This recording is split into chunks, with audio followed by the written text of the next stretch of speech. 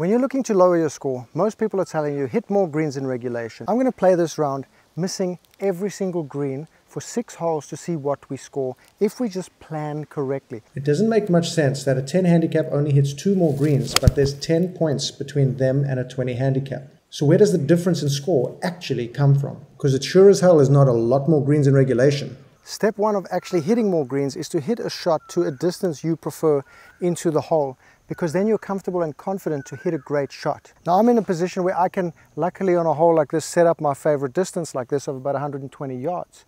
But if you can't, you have to accept that you just can't do it and then take your next best shot and miss the green in a place that's easy to chip and putt. People will think you'll never learn how to score like this. This is exactly how you learn to score. This is how you learn to score in amateur golf as we are scramblers by default. I got 110 yards, so I'm going to leave this one short left is the best position to be on this hole, if, even if you're further away. You can aim to finish short left and give yourself a simple as chip.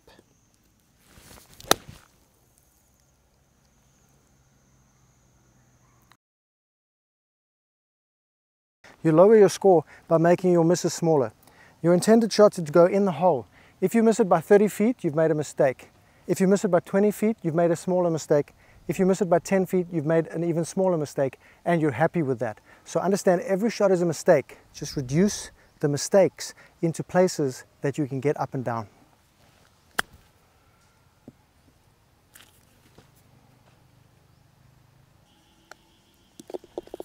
I highly recommend if you're screwing around and you're bad with a driver, get yourself a ladies driver, secondhand, something like that on eBay, and give it a whack. You feel like you're hitting like a a baby seven iron down there. This is a really long hole. It's a long par four. You're just not going to hit these greens in regulation unless you have maximum distance. So all this hype about greens in regulation all the time, it gets to you, especially when you can't reach maybe five or six of the holes on a golf course. But holes like this can be tough. Here after a drive, we still have 235 yards to the middle of the green. What I'm going to do is hit my 200 club and see if we can get up and down from 30 or 40 yards. So instead of getting hyped up about greens and regulation, because that's how you get your lower scores, why don't we just get it to a place where we feel we can get up and down from with a comfy shot on our second. We left ourselves a 30 yard pitch. It's not an easy one because the pin's cut right on the front. So what often happens with this is that you try to be greedy and you leave it short because you're trying to hold the chip. Instead of looking beyond the pin there, you can look left and see how much space there is, or you can look beyond the pin dead straight and land it at the hole and leave yourself a 15 footer or so to make the par. You'll make some of them, not many, but it's better than leaving yourself a double chip. So it's always wise to be less greedy and more, more conservative by going a bit longer on this one. And then by going longer, you trick yourself into actually getting a perfect shot. See, so I've left myself a longish putt, but I'm on the green. We're going to make a putt every now and then, but you're not going to make a second chip.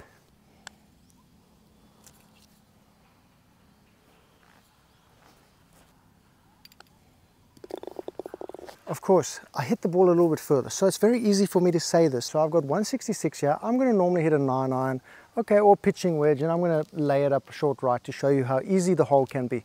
It's easy for me to do that high loft. What about people though who need to hit like a five wood the same distance. Well, this is a five wood, so I'm going to slow my swing down a bit and hit that little fader that people hit and just set this one up on the right hand side. We want to avoid that big ass bunk on the left and we want to hit a ball up to the right side there because that's the easiest place to chip from if we do miss the hole. And even going long here, 177 will probably be good, easy chip. Just stay away from the bunker. So let's say we have a five wood and I'm gonna just bunt it down there give myself a shot from the right side.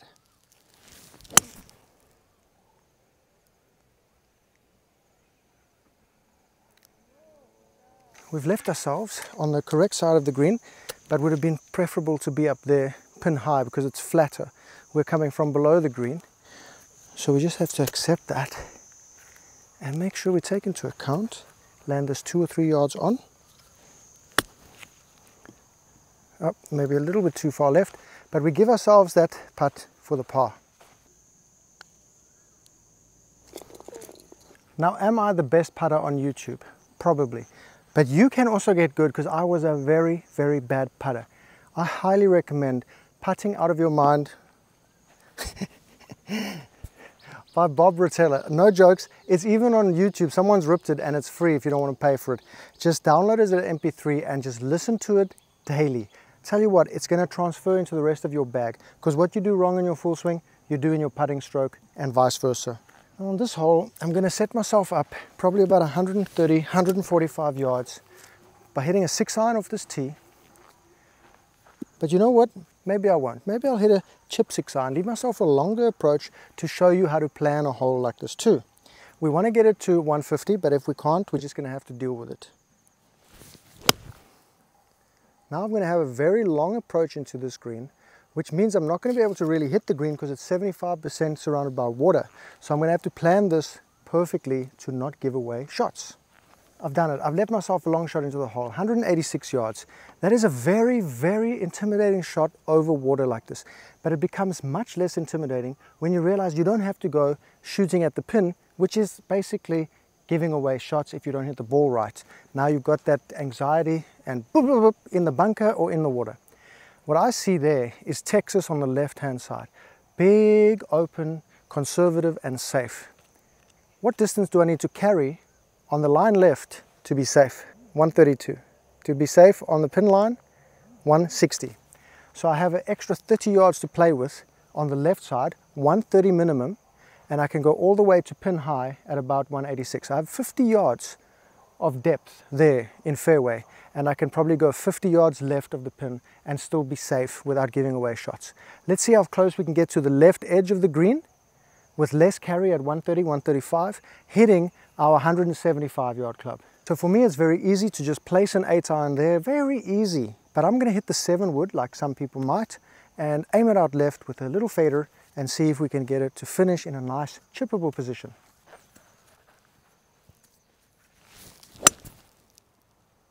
Okay, well I've hit that too great.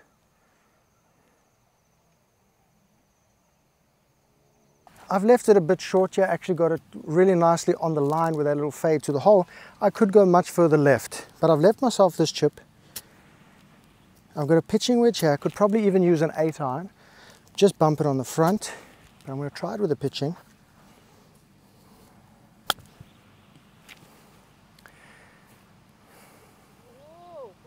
we leave that to two feet.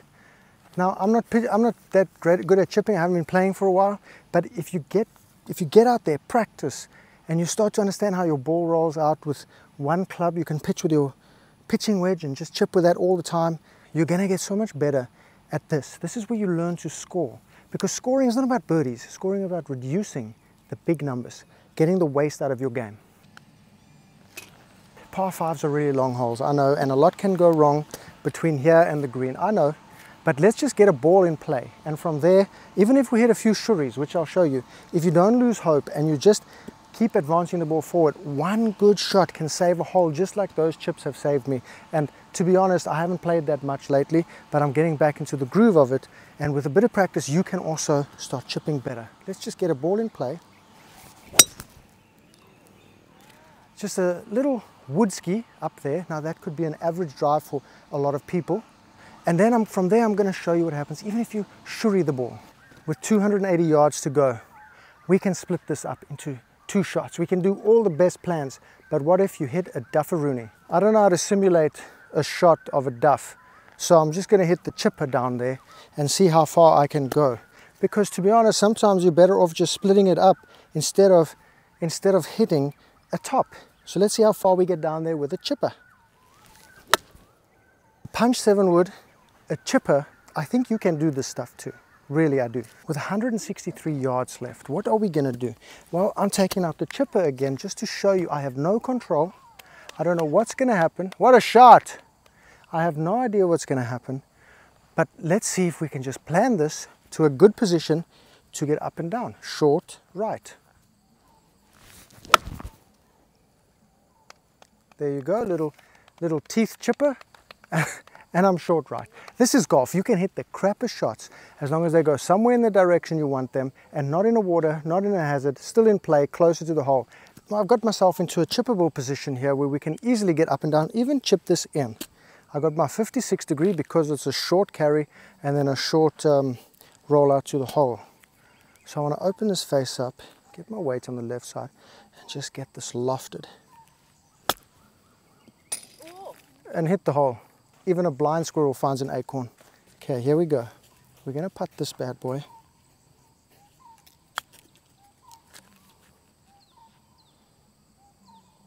What a touch. This video is sponsored by GX Gloves. This is my glove of choice for the year. Absolutely stunning. This one is about 15 rounds old and I haven't even tried using another one. I'm trying to keep all of them because they are just so stunning. GX Golf. Check them out in the link in the description or the QR code on the screen right now. So sometimes the putter is better, sometimes the wedge is better. You've got to know what's going to work in the moment, but that's how you get up and down easier by learning which one to use in each situation to score better.